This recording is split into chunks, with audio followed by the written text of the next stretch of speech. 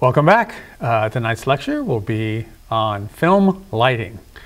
Um, nice little quote, Cecil B. DeMille, we'll talk about him in a little bit.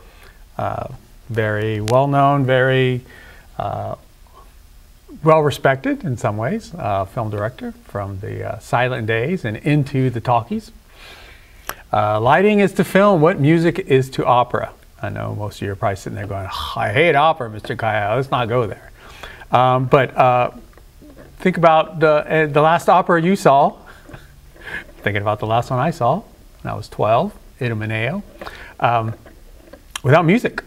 Uh, basically, the story of an opera is told in the singing and the music. So uh, that's what Cecil B. DeMille was saying. Let's move on. All right, so historically, movies were shot on celluloid, this plastic coated with chemicals uh, that were light sensitive. Uh, and uh, film needed, uh, that, that celluloid needed ample light to be able to go through the lenses. Uh, this is light traveling through the lenses. Um, through the aperture onto and exposing the film. Okay, um, the, like I said, the chemicals on that on that celluloid film were light sensitive, um, so you needed uh, you know enough light to be able to travel through the lens. Uh, current digital filmmaking, you know, it's uh, we're shooting on sensors now, not shooting on celluloid, uh, but they still require an amount of light to travel through the lens and to stimulate those sensors and to tell the sensors what what particles, uh, how to arrange the zeros and ones that are flowing through there. Uh, photography inherited from other visual mediums uh, like painting and drawing and even sculpturing, sculpting. Uh, the use of light and dark to affect both the narrative and emotional impact a story has on the viewer, uh, meaning that it's just one more um, visual cue uh, that, the, uh, that the, the, filmmakers use uh, to tell you how you should be feeling at this moment in time, how you should be feeling about this character, about this setting, about this scene, uh, just like the artists did way back in the olden days, the ones who influenced the filmmakers of yesteryear and the filmmakers of today as well. Uh, the Masters of Cinema, lighting, uh, meaning those guys and girls who uh, pioneered the use of uh, using lighting to tell stories, uh, studied the Masters of Painting. Uh, that picture on the bottom right hand corner, that's the John Wayne. If you don't know who John Wayne was, then you need to talk to your maybe even grandparents about the impact he had on Western cinema. And this is a, a classic shot um, from The Searchers uh, use of lighting to uh, basically tell you how you should be feeling about this character and about this moment in the scene. Uh, so, like I said, they, uh, the, the masters of, cin of cinema lighting uh, drew uh, inspiration from nature, from their own experiences, and from the masters of painting as well. This is a painting by one of my favorite artists, Caravaggio. Um, you, you, used to paint with light. That's what they call it in the in the cinema. Uh, that that uh, you were using light to to uh, draw attention to certain uh, parts of a picture or certain parts of a film frame.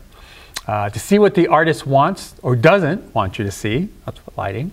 Uh, to create an atmosphere for the subjects. That means the subjects in the picture or in the scene. The, the, lighting helps create an atmosphere, not only for them to experience it as they're portraying the characters, but for us to experience as we're watching them portray the characters in this scene or in this atmosphere. Uh, to elicit the emotion from the viewer, uh, you have a date, it's romantic, you bring them back to your place. Uh, you can have like, you know, well, I guess it depends on who you are and who your date is. But uh, if you want to get uh, romantic and, and, jiggy with it, then you're not going to have, you know, floodlights and and uh, and uh, house music. Well, maybe you would. Um, uh, you're going to paint a picture, a romantic picture, and that's usually going to be dim lights, candlelight, soft music, uh, you know, um, mood candles all over the place. Yeah, I'm old fashioned, whatever. Uh, but to elicit emotion from the viewer, uh, just like you would an elicit emotion from your um, future uh, partners.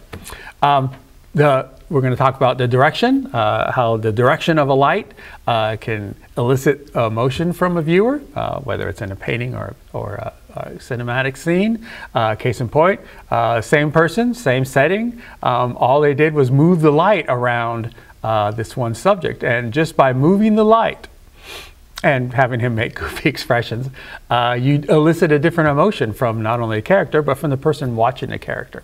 Um, and all they did was just move the light around the subject. All right, so the direction or the source of the light uh, will elicit an emotion as well.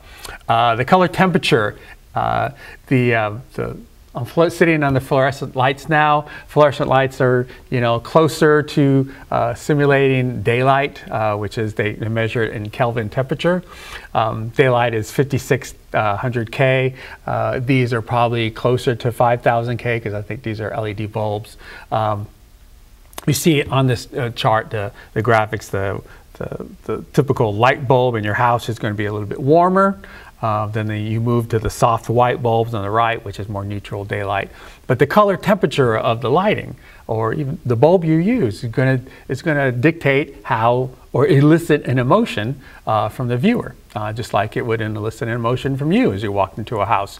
If, if, you know, grandma probably all has nice warm lighting in her house because she still uses those old bulbs, um, and uh, you know, uh, young 15 year old kid probably has well probably all the lights are turned off in his room. But you know, uh, people are going to choose different bulbs, at least when you get older and you're buying bulbs, uh, to elicit a different uh, feel in every room, and that's called color temperature. Um, and uh, qualities of light as well, whereas a hard or soft light. Uh, you know, you, you, of the selfie generation, you know uh, all too well what a harsh light does when you're taking a selfie versus a soft light. In fact, I think they even have things for your phones now that you can actually put a ring light uh, on your your cell cell phone camera to give you a nice soft light. Uh, makes for a better selfie. Uh, case in point, you look at the graphic, harsh light versus soft light. Um, the soft you can you can tell the difference. Uh, the soft light softens the features, makes it more appealing, uh, takes out uh, some of the lines, fills in some of the, uh, the darker spots so you don't have raccoon eyes, um, and just overall makes for a, a, a, pleasing picture. Uh, so that's the quality of light, uh, hard versus soft. Mm. Placement of subject in the frame or in your scenic, cinematic frame or your artistic frame where you place the subjects in, uh, depending on where they're, what light they're in, what qualities of light, the color of light, the direction of the light, all depends on where you place the subjects uh, in that scene. You place them in front of a scene that's really well lit, it's going to elicit a different emotion than if you place them in a scene that's really darkly lit.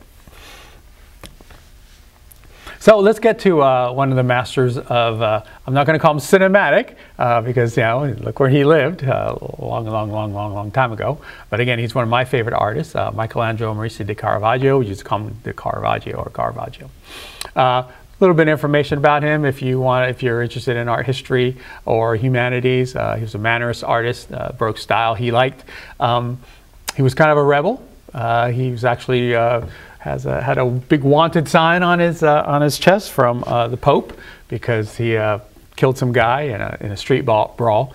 Uh, but Caravaggio is a really interesting dude. He's not like you know your typical boring uh, Baroque Mannerist artist. So if you ever want to do a report on an interesting uh, artist, um, then I would pick Caravaggio. Do some research. You'd be like, this dude was badass. Anyway, um, works by Caravaggio featured contrasting, dramatic uses of light and dark. case in point, this picture. Um, and he wanted to bring a more realistic, uh, less uh, operatic staging of his subjects. Um, basically, he took uh, real people, not models, or you know, and and uh, placed them in his settings. Um, to, to, to say that these things, like the calling of St. Matthew, which we've you know all read about in the Bible, uh, you know, the, your Sunday school teacher probably taught you a different version of what the calling of St. Matthew was, but Caravaggio was different. He took the settings, these biblical settings, and he put them in real world scenarios, or real world scenes. Okay, um, so you know here he, uh, we see uh, the Jesus figure in the back, and and he's not all lit. You know he, he barely has a halo above his head. You can barely see it, but his eyes are obscured. And uh, there he is in, in, a darkened section of, a, of a, a, bar or a tavern or a restaurant where these people are gambling on a table.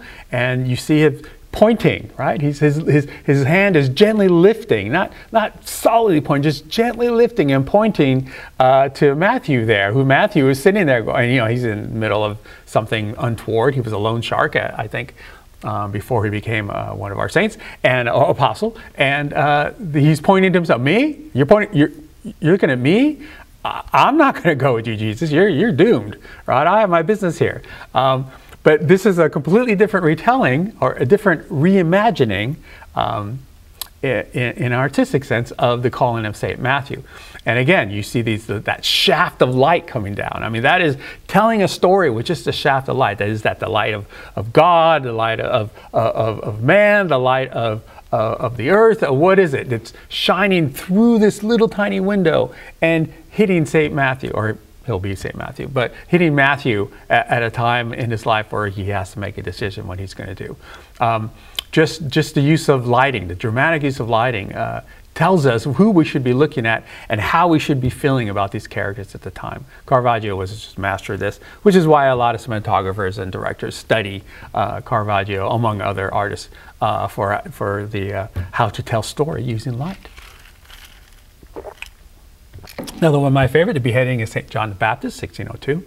Um, again, uh, this is a horrible, horrible scene. Uh, there's the, the assassin, he's got his knife behind his back and, and this, this shaft of light coming down, uh, illuminating uh, who the figures that we that uh, the Caravaggio wants us to see. Of course, uh, he wants us to see um, the future uh, St. John the Baptist there, about to be uh, have his neck slit, or in the process of having his neck slit. We see the assassin and the muscular, uh, uh the musculature of his back, uh, uh, his back muscles, and his arm muscles, holding St. John the Baptist down, and we see the two witnesses. Um, including the older woman who's just aghast at what's happening here. She, her, hands are covering her ears um, to, to, to, not hear the screaming or to the, the slicing and the bleeding, uh, but she, she's still staring. She can't not look away because she's a witness. Um, and then we have the handmaiden there with a basket ready to uh, uh, take uh, St. John Baptist's head and, and present it. Um, we have the, the other uh, fellow um, prisoner uh, in the darkness, way back in the darkness. But, but Caravaggio wanted us to see something back there. So he, he put a little bit of light on the prisoner. But again, telling the story, giving, eliciting emotions, telling us how we should be feeling uh, about these characters and about this scene um, just by using light. Little point of fact here that uh, Caravaggio uh, didn't sign any of his paintings. This is the only one where he actually uh, did sign, or the only one that people, uh, a lot of his paintings didn't survive as well, but um, where he signed it, he signed it in the blood uh, that's leaking out of um, St. John the Baptist's uh, neck, and he signed it down there, Michelangelo right there, yeah, anyway. Okay, uh, so that's the beheading of St. John the Baptist, Caravaggio, 1602. Again, use of light um, and the dark, use of dark to tell the story tell us how we should feel. And we're going back to the first one, David, the head of Goliath. Um, like I said, Caravaggio uh, had a death warrant put on his head, uh, uh, and uh, so he he, um, he felt bad, and he wanted to get the Pope to uh, to flip it and say, hey, okay, you're not such a bad guy. So he did this series of paintings, including this one, uh, which he sent back to the Pope and hopes that the Pope would say, okay, I, I see you're, you're penitent, uh, you're forgiven. Um, but this is a self-portrait of Caravaggio. That's his head. Um, he's playing the, uh, the role of Goliath, the beheaded giant, and the young David holding the head that he just uh, severed um, after the battle. And again, the, the, uh, other than you know that little historical context of the, of the painting, uh, it's an amazing use of light, right? Any other time you, you, someone tells you or, or reminds you the story David Goliath, what do you picture, right? You picture a, a young uh, David, you know, on top of a hill, um, bathed in light from heavenly light, and you know maybe he has a halo too, and just and just everyone just you know praising him, and and, and maybe there's angels floating above his head, right? That's that's the image that that up until uh, this moment uh, everyone painted, uh, but Caravaggio said no, I'm going to make David and Goliath real people, right? Actual street people, people from uh, people of the earth. Um, and portrayed him uh, as this in the darkness, emerging from the darkness uh, that, that was the, the world before Goliath was beheaded.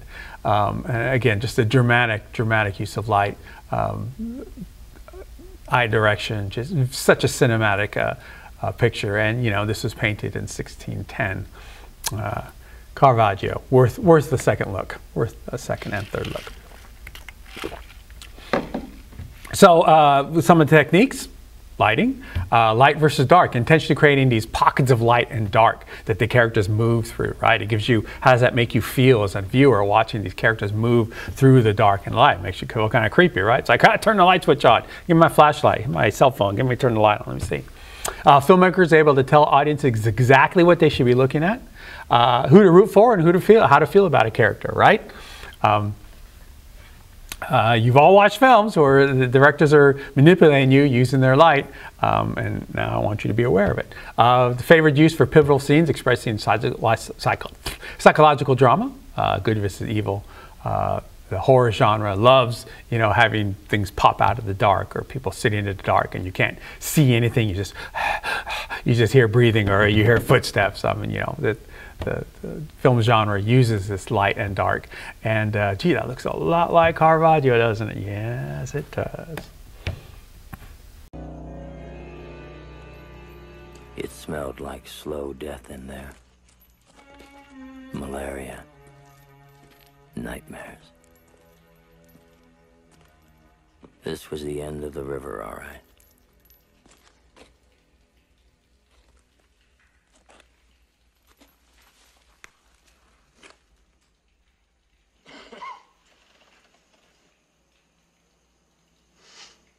Where are you from, Willard?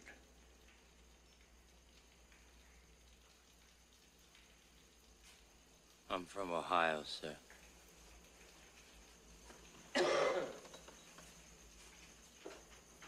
Were you born there? Yes, sir. Whereabouts? Toledo, sir.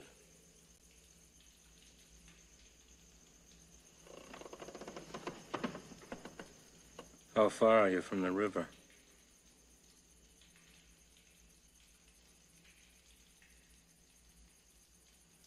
The Ohio River, sir?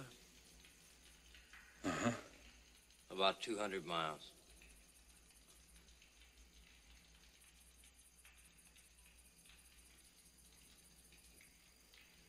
I went down that river once when I was a kid.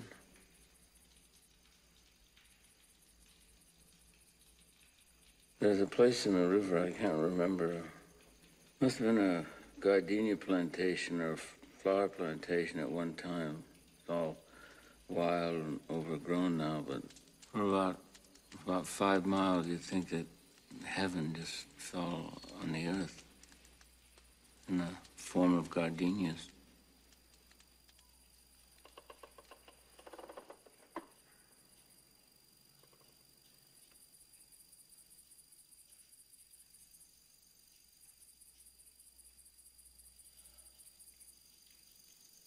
Have you ever considered any real freedoms?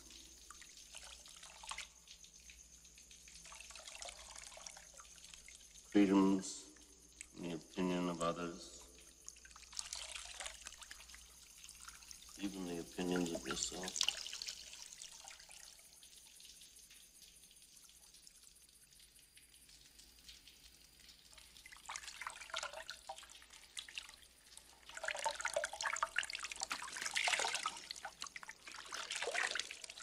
They say why. Willard. Why they wanted to terminate my command.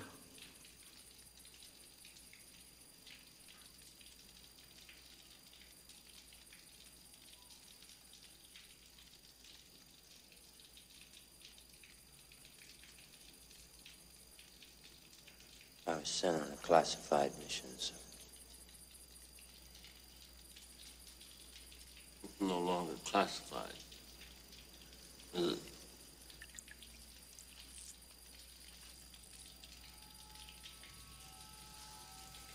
Did they tell you? They told me that you had gone totally insane. And uh, that your methods were unsound. Are my methods unsound?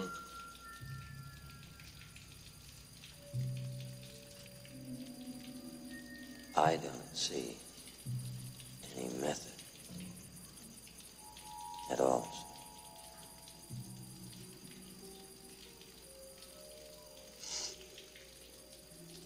I expected someone like you. What did you expect?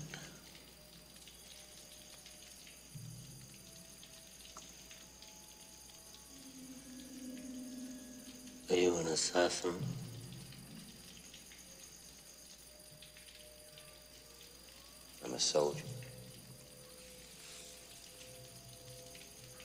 You're neither. You're an errand boy. Sent by grocery clerks. To collect a bill. So that uh, was the scene from Apocalypse Now, the uh, Francis Ford Coppola masterpiece uh, about uh, Willard uh, uh, in Vietnam. If you've never seen this film, you should. if anything, you know, turn the sound off. Just look at the lighting because it, it's astounding. Um, but the the moments we don't know this character um, that's sitting in the dark there, right? And we don't. We just know he's horrible he's a horrible, horrible general who's been who's gone rogue, and, and Willard has been sent to kill him to assassinate him. Um, and and Coppola holds that moment. He leaves him in the dark. We're we're dying to see uh, his eyes, right? We're dying to see if this guy really crazy or not. What's he going to do? Uh, but but Coppola holds him in the back, and he he brings him into the light, and that that bald head with the wet, sweaty, it just it just adds to the atmosphere of that scene. And then finally, when he emerges into the light, you know, he's got that look in his eyes, and and he just milks that moment just milks it uh, to the point of where we're, we're so elated to see him, but we're elated uh, and horrified at the same time. It's a brilliant use of light and dark, um, Francis uh, Ford Coppola. All right, uh, second one is flat lighting. Uh, flat lighting, also known as sitcom or game show lighting, um, because it basically blasts a scene with light. because normally these shows are shot uh, with multiple cameras, and uh, you don't have time to relight a scene or a shot, or uh, you don't have time. So, and usually on a soundstage or, or, or, or a stage. So um, they would just blast the scene with light. So no matter where the actors go or the performers go, like in case of Ellen, uh, they're lit. They're perfectly lit, or at least they're lit enough where the cameras, wherever the cameras are, can see them right? Uh, so this facilitates ease in shooting, right? So they don't have to readjust the lights every time someone moves. Uh, do you remember that clip in Living in Oblivion where the actor Chaz kept changing his uh, position where he was, and the and the, the, the DP had to keep hanging lights because they were changing the scene. Well, that takes time. Uh, well, in scenes where they're shooting sitcoms or situation comedies, or where they're shooting uh, game shows, or where they're shooting talk shows, they don't have time to redo that every time someone moves. Um, and they want to let the performers be able to go anywhere they want, including in the audience, which Ellen does quite often. You see them, they bring the lights up. So uh, that, that, it's called flat lighting or sitcom slash game show lighting, just for that. George, tell us no about. No way! Jerry, you're going to be dreaming of a brand new Audi R8. Oh my God! Gas money for an Audi R8, V8 Spyder Quattro S-Tronic. Oh my God, Drew! Now, uh, I don't know if you've, I don't know if you've seen Gas Money, but here's yeah, you have. Okay, this is how the game works for everybody at home. We have five price tags here. Uh, one of them is the pink slip to the car. Look at the prices. $157,300. 141,000, 163,000, 152,000, 146,000. One by one, you're going to pick one of those price tags, okay? One of those prices. You have to save the price of the car to the very last. Because underneath the other ones, we have money. $1,000, $2,000, $3,000, and $4,000, total of $10,000. So you play this game right, give the Audi R8 plus $10,000.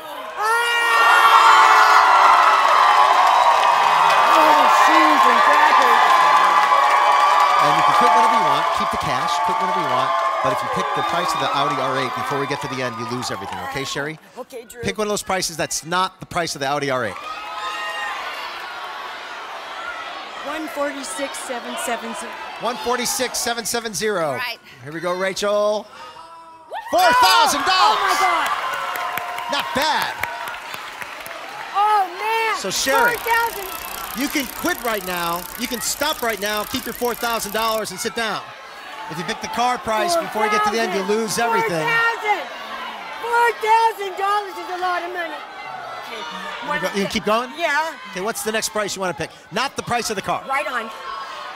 It's 1,41550. 141,000, she says, is not the price of the car. $3,000. You have $7,000 Oh, right that's now. a lot of money. Only two more to go to get the Oh, brand new a lot of Audi money. R8. You want to keep going or stop? Okay. You gonna keep going? Wow, it's risking $7,000 on this one, folks. 163, 650. 163,000. Let's see it. $1,000. You're up to $8,000. Sherry, listen very closely. You have $8,000 you can keep. You can sit down and then have $8,000. One more to pick, 157 or 152. If you're wrong, you lose your $8,000. But if you're right, you get the car and $10,000. Oh, that car. Okay, Wanna- I'm going for it. You're gonna go for it? Yeah. She's I- gonna go I've for never it. been here before. She's risking $8,000 for a chance to win 157 or 152. Which one of those is not It's the not. price of the car? 152295. She says 152,000 is not the price of the car. Sherry, good luck. Come on over here. I'm so nervous. I'm so nervous Oh, too. please, baby. Come on, $8,000 at stake. You got it!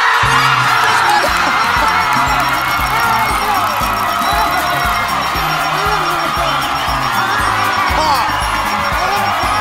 Just won a $157,000 car.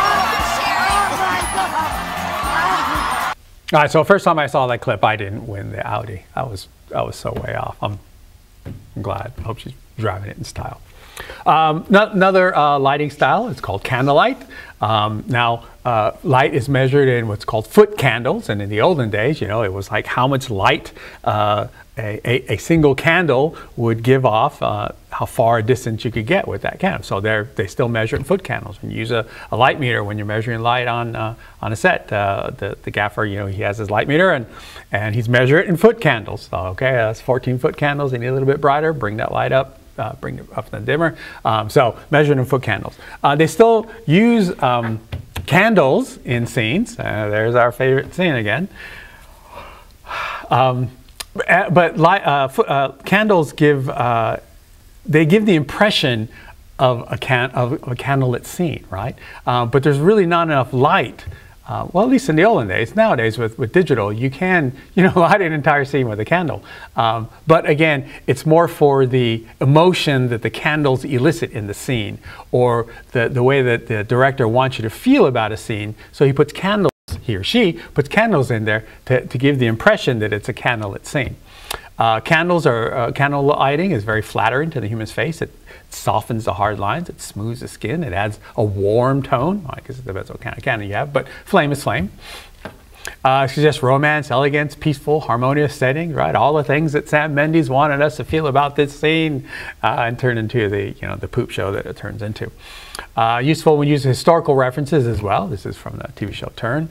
Uh, Pre-20th century or primitive settings that you throw a candle in scene. Now, uh, this, this shot looks like it's entirely with candles, but um, that, it's meant to look that way, right? That's what a, a good DP does.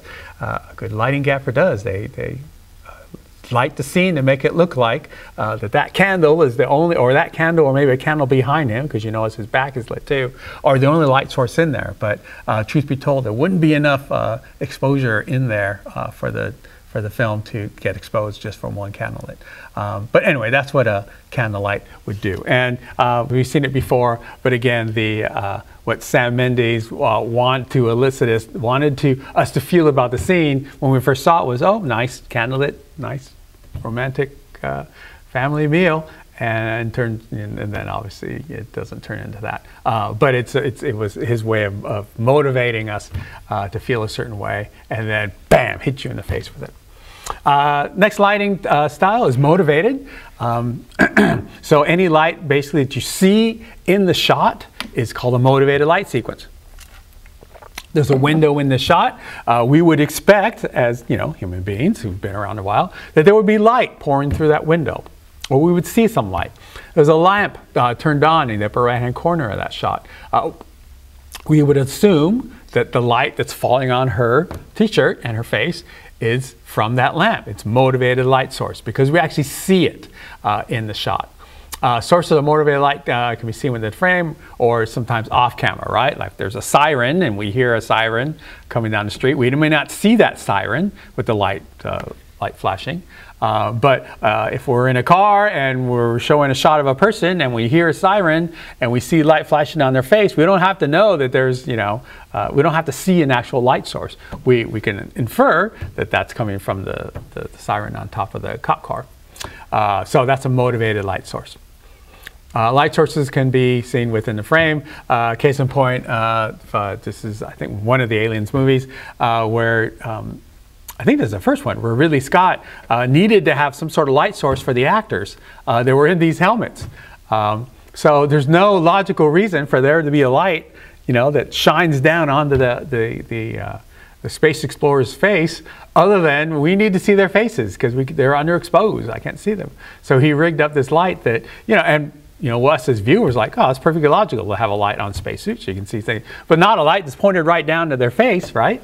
Nowadays, they, you know, hide lights inside the, uh, inside the helmets and they flush their faces so we can tell uh, who the actors are. But, uh, you know, uh, back in the 80s when Ridley Scott was doing this, he didn't, uh, didn't think of that. So that, brilliant. But motivated light source, light source that we can, uh, that, that's in the frame that we can actually see it.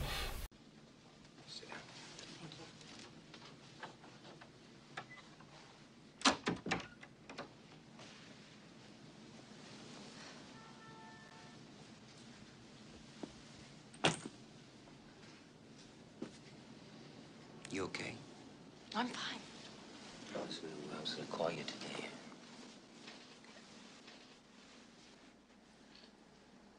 I, um, oh, this is terribly embarrassing. I, I just, um, wanted to say sorry for what happened. I had no right to put you through all that. Nothing happened, okay? I was going through a bad time and everything was coming to a crisis and but I'm I'm fine. I'm I'm really all right and, and thank you. You have to thank me. Oh yeah, I do. A lot of guys would have just run away. I don't know what I would have done if you hadn't been there. Well, you, uh, you look good. Matter of fact, you look great. Thanks. So that's past. May I ask you one more favor? What's that? I've got two tickets to Madame Butterfly. Two weeks from Thursday.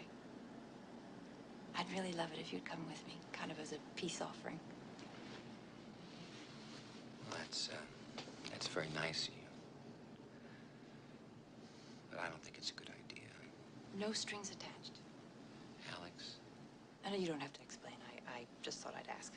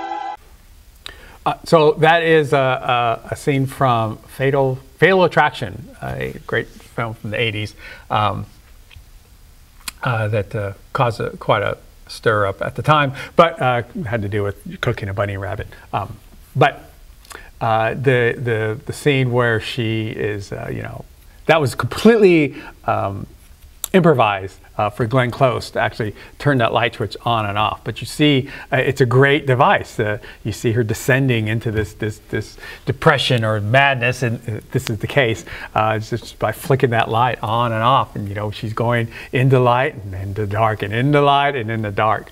Um, and it's a completely motivated light source. We don't need to uh, worry or wonder where that light's coming from. It's coming from that lamp, which she is flicking on and off. Great, great use of a motivated light source. Um, so you have motivated, uh, but you also have an unmotivated light source. Unmotivated is any light that doesn't occur naturally in the scene. Like there's no reason uh, for there to be this great big spotlight on this rolling boulder that's chasing Indiana Jones um, out of his first movie. Uh, but we have to see the boulder, we, otherwise we're not as afraid of it. We're not as afraid for Indy.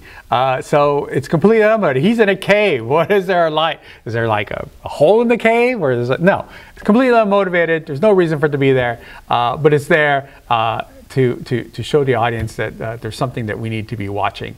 Um, and the scene happens so fast that you're not even thinking. All you're thinking of, it's a big boulder, run.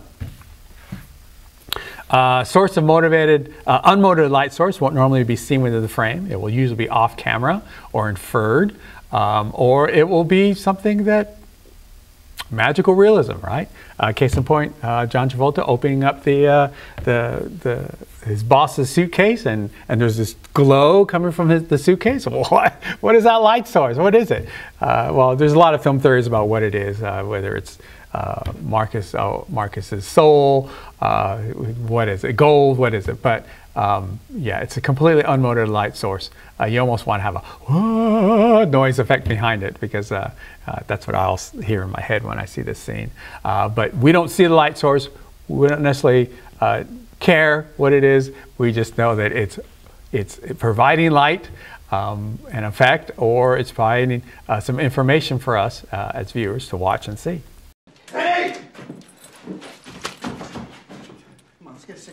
Right? Benny, we're coming out! Benny, don't fire! Get in! Jesus fucking Christ, Benny! Ah, you wear something new. Yeah, what?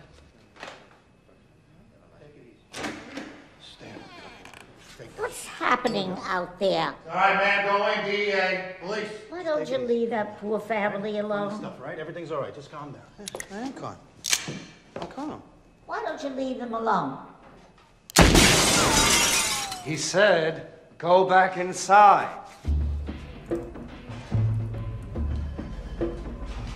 Stan, I, I think it's better if we go inside, all right?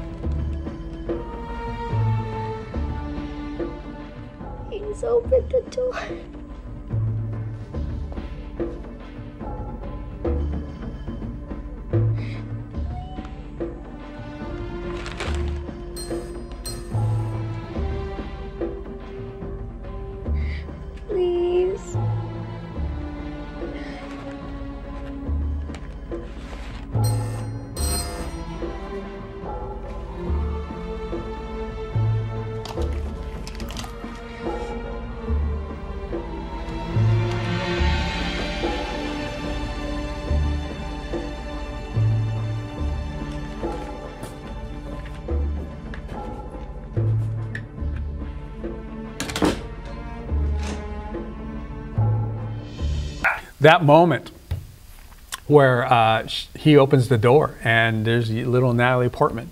Uh, that that moment, you don't have to have any sound there. You just see the, the, the timing of it when the door opens and the light just floods out of that apartment. All right, um, and onto Natalie Portman's face, the young Natalie Portman, and she knows that she's saved at that point. Um, she knows that everything's going to be okay at least for the next 10 seconds. So, unmotivated light source. We don't know where that light source is coming from. We know it's coming from the apartment somewhere, a window, uh, but just the, the amount of light that hits her, it's completely unmotivated. We don't see the light, but it's, it, we feel it, right? We feel it in the relief on her face, um, and we feel it uh, in the, uh, the, the reaction of the gentleman in the hallway with the gun. that's, you know going to kill her if, if Leo doesn't open the door. Uh, beautiful, beautiful. That's film, a film called The Professional. I think it was Natalie Portman's uh, one of her first roles. And if you've never seen The Professional, you need to see The Professional. It's, it's a wonderful film. Luc Besson directed it. Gary Oldman's in it. Just wonderful. Uh, let's go on to the moving light source. All right. Uh, a light source that's carried, motivated, or affected by a character uh, in the scene. It doesn't stay in one place uh, throughout the scene. Um, Moving light evokes emotion, informs the viewers how to feel, right? You see a light moving through, like in this scene, the, the, the, stupid kids are in the car and they're trying to turn the light, and, and the Tyrannosaurus Rex sees the light and goes to the light source, and you're screaming at the kids, Turn the light off! What are you doing?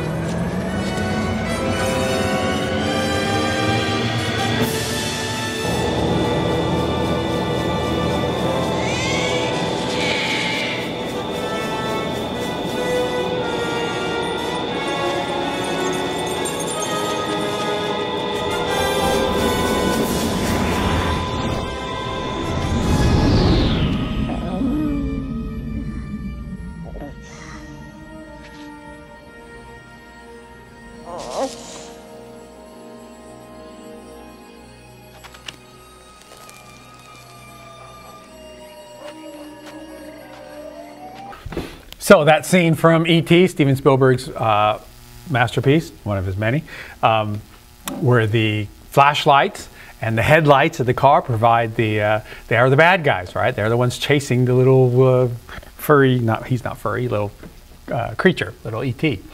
Um, the use uh, uh, of, of, flashlights and, and, and, showing direction in actually telling the story when at the very end where uh, they, they, they, hear movement and they all you know put the flashlight together. Uh, it's, it's, logical right? It makes sense. You're in the dark you hear a noise flashlight moves. Uh, but just the, the, sense of choreography of that uh, of storytelling just amazing the, the running scene where they're running through the, uh, the, bush, uh, the brush chasing after ET and, and, you know, you're running with a flashlight in your hand, so it's going to be, you know, the light source is going to be all over the place and causing uh, to, to feel the feeling of more chaos, uh, uh, uh, more immediacy. Um, and, and of course, ET has his own light source, right? His little heart light in there, glowing. Um, so we actually, he doesn't need a light. We see him running through the scene, uh, running away. He's screaming as well, ah, but uh, he, has got a light on him, so we don't need a light source for him. He's got his, he carries his own light source. Um, uh, wonderful use of moving light uh, in that shot to, to, to, build tension and to let us give us information uh, in the scene without uh, having any dialogue either, right? Uh, we know that ET is being chased, and we know it's a fast chase because we see the lights going crazy. Uh, really great use of moving light. If you haven't taken your art class, art appreciating class, or humanities class, um, you will be introduced to this gentleman, uh, Rembrandt. He was a Dutch Golden Age. You know, you'll learn about that in history. Uh, he, he, was basically a trader. Um, he, uh, yeah, he was an art dealer. Um, but he dealt in science and military, and he also dealt in art as well. Uh, we know him basically as the Dutch master um, Rembrandt, goes by his first name only. Our roots in film lighting go back to this guy, okay? Uh, he etched and uh, painted a lot of self-portraits. Didn't want to spend money on a model, so he just sat there and painted himself. Uh, using his own face as a model, he, he did a lot of self-portraits of himself, uh, experimenting with uh, lighting, experimenting with what, uh, what lighting to use with certain expressions on his face. Um, blending the light, using darkness as well, obscuring himself in darkness and putting different uh, colored clothing on and, and using different qualities of light, uh, all in a, an effort to see, you know, how it affected um, the painting. Like I said, he did a lot of uh, self-portraits from, you know, young man, where you saw him at 17, to, to he's in his older stages now.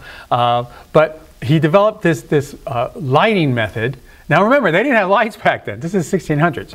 Uh, so it was all kind of lit or it was all directional light from windows or they used, you know, big shiny pieces of, of metal to reflect the light into the studio. Um, uh, otherwise you're painting outside. Uh, but his use of lighting, uh, well, his technique of lighting to make it, of coming up a way to light a subject so it looks more natural and more and realistic um, basically we're still using today. Uh, it's a simple lighting setup uh, which creates natural, logical lighting, right? There's a light source. You look at the self-portrait, where's the light source come from? Well, obviously there was a window open because they didn't have lights back then. Um, or a door open. It's, it's, a window because it's a little brighter up, up higher. And we can tell it's coming to his side because that side of his face is lit up. Um, there's probably not a window open on the other side. Uh, it's probably just a, just a hallway or a closet or a regular wall. Uh, but it, it's logical. It makes sense. Um, we don't have these heavenly light sources coming from nowhere. Uh, we look at his self-portraits and they all, um, we, it's natural. It, we don't have to question it. We don't have to sit there and, and argue and theorize it. We know exactly uh, where this light source is coming from. Rembrandt. Now, uh, remember I said we get the Cecil B. DeMille? Uh, so uh, he was shooting this film called The Warrens of Virginia back in 1915, right? So it's weird, it's like 100 years later. Uh, well, actually about 75 years later than Rembrandt. Um, and he borrowed some portable spotlights from an opera house in downtown LA. Uh, and so he wanted to make shadows where shadows would appear in nature. I mean, these were silent films. There's no audio in here. All right, so uh, he basically was making these pockets of light. Now, when his business partner, Sam Goldwyn, who Metro Goldwyn Mayer MGM Studios, yeah, uh, saw the film, and only the half of the actors' faces were lit uh, because DeMille used these really strong stage lights. He said, you know, no one's going to pay for this film because you can only see half of the actors. Well, Cecil B. DeMille, you know, the, the guy that he is, said, well, no, wait a minute. Um, I'm using Rembrandt lighting here. And, you know, Goldwyn didn't know any difference. Rembrandt lighting, that, that, that sounds great. I can sell that. This is the first film shot with Rembrandt lighting using the master Dutch master paintings lighting style. Uh, it's like you're seeing a Rembrandt painting uh, in cinema, revolutionized. Uh, pay more money, blah blah blah, um, and thus the term Rembrandt lighting was born. When it's total BS, right? Cecil B. DeMille just wanted to elicit a different emotion, uh, so he got lights and he only lit you know half the actors' faces, and ta-da! Rembrandt lighting was born. So Rembrandt lighting is characterized as a lighting technique um, that in a studio situation or, or, or a stage situation, uh, you create a realistic uh, direction of light, a realistic uh, portrayal of person in a uh, that's lit, obviously lit, uh, but you don't really worry about where the light source are. It's so naturalistic feeling that you're not sitting there going, where are the lights coming from? Uh, there's an earlier self-portrait of Rembrandt. Uh, it can be achieved using one light and a reflector or two lights. Uh, popularity stems from the ability to produce uh, images that oppose, appear dramatic, but realistic at the same time and natural, uh, with a very limited use of equipment. Um, so the characteristics of Rembrandt lighting are um, one side of the face is brightly lit, the other side of the face is not as brightly lit, and you could see them from the background. They're, they're not blending into the background. They're actually popping up for the background. Today we call that three-point lighting, all right? So uh, here's, here's a kid from Green Day, I'm not sure when he was younger. Uh, but here's a lighting setup. Rembrandt lighting, three-point lighting, a bright light on one side, a soft light on the other, and a light on his back to, to pull him off the background, make sure he's not uh, blending into the background. See Rembrandt lighting in every mode of life, every model you see. That little triangle, that light triangle underneath the dark the eye on the dark side of the face. Uh, separation from the back and perfect exposure on the bright side of the face.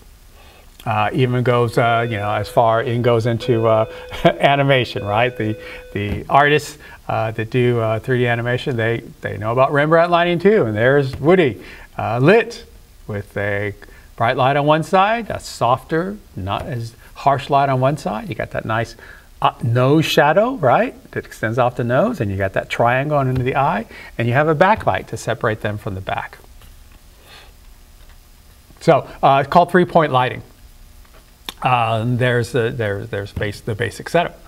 Um, now, of course, Rembrandt didn't have lights, uh, so he was able to, like I said, have a, a bright light coming in from a window, uh, a softer light source on the other side, which would be a reflector or a candle or something uh, that's providing light on one side, and then a light on the back, some sort of light coming from the back to separate them from the back. Um, and it's still used today. Now, you don't walk onto a set and the gaffer says, "Oh, I want Rembrandt lighting," but uh, you know they're going to say, "Give me a key light here, which is the bright one. Give me a fill light here, which is you know just fills in the shadow, and you know make sure you have a backlight on them." Um, here's Audrey Tautou. Uh, Amélie the film, but uh, there she is. There's, you know, they're pointing. Here's the side of her face lit by this bright key light, right? Here's the side of her face lit by this fill light. It's not nearly as bright as this side, right? Um, but you can still see the triangle of light under her eye. You can still see the nose shadow. You can see the, that this is not nearly as bright as that side because it's just a softer light. And you can see a light on her back, separating her from the background so she doesn't blend into the back. Uh, three-point lighting. Now you're saying, okay, this works for inside, but you know, what if the person's outside? Works for outside too, right? Uh, just because you're outside doesn't mean that the, there isn't film lighting. Um, they usually have a big scrim over top, um, so you so the, the harsh light from the sun isn't isn't blinding everyone, isn't isn't overexposing the bright spots. Um, and then you have daylight balanced lights brought in to provide light, you know, when there may be only shadow. So here you can see, uh, very obvious. Where's the key light? Key light is coming on this side of her face because this side of her face is a lot brighter than this side of her face. Now it's only maybe another stop, you know, an f-stop or a half an f-stop brighter, but it is definitely brighter on this side than it is on this side. So you have a fill light on this side, you have a little light triangle on her eye, little nose shadow happening there, and you have light on her back of her sweater, separating her from the background. Um, so even in an outdoor situation or indoor, uh, key, fill, backlight are the three. Uh, that's the that's the main lighting that you know Rembrandt came up with way back in the 1600s, and uh, we're still using today because it's a it looks natural. We don't question how these people are lit this way. We just we, we shouldn't even be looking at their lighting. We should just be looking at the performance of the actor and what they're saying. Um, and naturalistic three-point Rembrandt lighting allows us to do that. Pretty brilliant. Anyway, uh, from now on, when you watch a film, you're going to see this. You're like, hey, there's no fill light. How come there's no fill light? Why is that? Oh, because that person's a bad person. Hey, there's no backlight. Oh, because he wants him to feel like they're part of the background. Hey, there's no key light. Oh, because he's a bad guy. He wants us to like the bees in shadow. You can start seeing that as you watch films from now on. You're welcome. And of course, I'll have to show one more self-portrait um, etching of Rembrandt, and that yeah, there's a three-point lighting there, as if as if she was lit today uh, on the set of the latest Marvel film. All right, so um, let's go into our lighting crew. Uh, we already talked a little bit about them before. The gaffer has his, uh, his or her best boy, which, like I said, doesn't need to be a boy, um, and then electricians or juicers work underneath um, them. And then we have key grip uh, and best boy grip and the grips on that side. And remember, the gaffers are the ones that bring in the lighting, the lighting crew, uh, and they uh, they bring in the lights. And then the key grips or the grips are the ones that you know put things in front of the lights to manipulate uh, them as well. So bring light, take light away. Uh, let's see. Oh yeah, this is uh, lighting equipment. Where is my video? There it is. Uh, so this is uh, it's a pretty typical truck. Uh, I'd say it's probably no more than a ton and a half or two ton. Uh, smaller truck that you can rent uh, has uh, both lighting and film and, and, grip equipment on it. Pause it for a second. we have our lighting, our lights here. have all our, our hangers and things to attach lights to things. we have our light stands. and then we have all our, our equipment supplies for the lights, and there's some flags back there. Let's see, then we have some, these, these are big uh, tent-like things, uh, apparatuses that you can put up for shade for the uh, for talent or for the, the crew. Um, but also, like I said, they could shade the sun. So you have a nice even uh, sunlight across people so you don't have weird shadows across their faces. Uh, these are big uh, silvery things or reflectors, carts as well. Uh, let's see, these are all uh, extension cables. We have apple boxes back here. They don't, they don't, really hold apple box. They don't really hold apples, but you know, sometime back in the early days of Hollywood, uh, they would apple boxes were really sturdy. So they, and now when you rent a grip truck, you get apple boxes, and they come in all different sizes. So you can uh, scream, "I need a half apple on that light," or "I need an apple box for that actor." Blah blah blah. Yeah weird. I don't know where that terminology comes from. Uh, we have light stands, we have C stands, we have ladders, um, all the things you would need for a relatively uh, modest uh, production uh, for this uh, truck. Uh, so here's inside uh, a uh, uh, that I think this is inside that uh, two and a half or three ton truck. There's shelves, places for all your stands to hang. These are C stands back here. Uh, places for all your equipment. And uh, again, these don't necessarily need to be air conditioned like that camera truck does, but it's a nice place to hang out. this is called the taco cart. I don't know why it's called a taco cart, but they call it. But basically, a lot of times you can't park the grip or the or the the, the electrical trucks close to the location. Um, so you load as much equipment or whatever equipment you think you're going to need for a certain scene, for a certain day, and you put it on these carts and you wheel them over. And then you could, uh, so the best boy uh, usually will be in charge of that. The best boy stays with the truck usually, and the electricians are in charge of the taco carts. But uh, again, this is, this is a combination. Uh, I think this is actually a grip taco cart. Uh, these aren't light stands. These are those stands, like I said, they use to hold things up like, like, like a big, uh, like a big tent. Uh, here's the, a nice look at apple boxes. You can kind of see the sizes. Uh, these, this is all half apple. That's a quarter apple. That's an eighth apple. Uh, sandbags, extension cord. Oh, I don't know those extension cords. It might be extension cords for that. Uh, sandbags to whole lights down. Uh, a big reflector, ladder. These apple. Someone's actually sitting on an apple box. But yeah, that looks like more of a grip, uh, a grip taco cart to me than an electrical. yeah. Then, right. So next one. There, there is a lighting or electrical uh, taco cart, and you see lights. There's extra bulbs, uh, hangers, stands, anything you need uh, for it to, to, be on location. Um, if you're you have, can't park the electrical truck real close, uh, you just throw whatever you need on a taco cart and wheel it out there. Uh, here's a little uh, grip truck you can rent. It looks like a five-ton truck, and you know usually the guys come with it. Um, there'll, there'll be a you know, you, you rent a truck and you say, I'll be your gaffer on the show or I'll be your best boy. Uh, so you hire them and you hire the truck. And it's a pretty nicely outfitted truck, actually. He's actually got uh, some uh, audio and, and, equipment there as well. Uh, but yeah, not, not bad. And he's got a couple lights on as well. so You can see what he's got. Uh, inside a grip truck, uh, these are flags, those big uh, things that you put in front of the light to take uh, to diffuse the light or to cut it entirely or make a cut shadow. These are, are colored gels that you can put uh, in, in front of a light as well to change the color temperature or change the color uh, of a light. If you want, you know, hey, this is a romantic scene, let's have blue light. You know, you put a couple of these colored gels in front of the light and boom, you have blue light. Uh, lumber, you always have lumber because you never know what you have to build or you know what you, maybe you have to go through a, over grass and you want to lay tracks down. You put the lumber down, you put the tracks on top of that.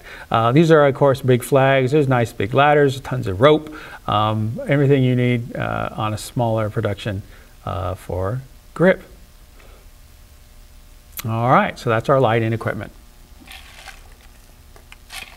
Oh, here we are at the end. Uh, so be sure to check out, uh, check out the quiz for this lecture on Blackboard, the quizzes section. Uh, this video lecture and the quiz will go offline at 10 p.m. tonight. Don't wait. Most of you have caught on to that. Uh, I'm glad. Uh, and of course, our extra credit movie texts are still valid. So if you uh, see, you know, now if you watch, you know, Joe Exotic and say, oh, I watched, it, okay. Movies. We're talking about movies. We're talking about films. yeah. So uh, send me a text of you, take a picture of you sitting there watching a film, or, you know, and uh, send me a text. Let me know what you thought of it. And uh, boom, extra credit. Those are applied through the end of the semester. So get those in. Uh, thanks for stopping by. We'll see you next week.